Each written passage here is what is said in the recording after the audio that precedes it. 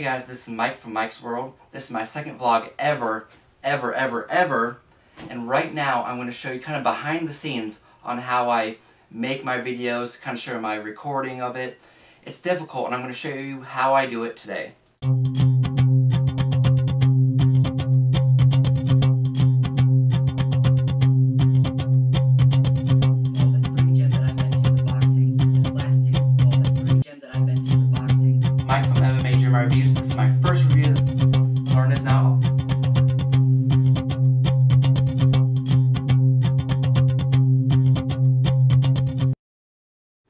As you know, I do a lot of reviews. I have a couple of channels. You know, I have MMA Gym Rat Reviews. I have Tech Rat Reviews.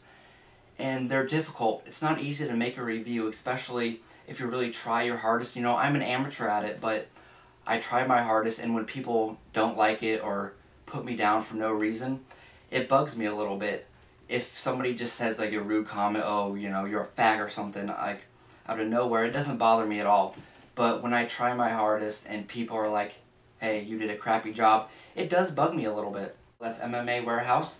And then if you like my video, comment, subscribe, click on the links below. Thanks for watching. Go with God. It all together does take a lot of time. For instance, I've probably been doing reviews and working on my vlog for the past couple hours now. So it does get a little lengthy and it's going to suck at video editing it, but it's worth it because when I can connect with my my followers, my subscribers, and people enjoy what I do, it makes everything worth it.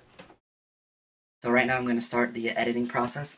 I have selected just the Tech Rat clips, and then I'm going to import these. One of the problems though is by uploading and stabilizing it all, these clips, it's probably going to take a few hours, so that's gonna happen. Even if like a video gets, you know, one my one of my reviews only gets like one, you know, view, but that helped that person make an informed decision on what product they want to buy, I think I did my job well. Alright guys, I just got done editing one of my videos. Right now I'm gonna share it, I'm gonna export it. We need to do 720p. Doing it one-handed. Export it. And there you go. That's wrap.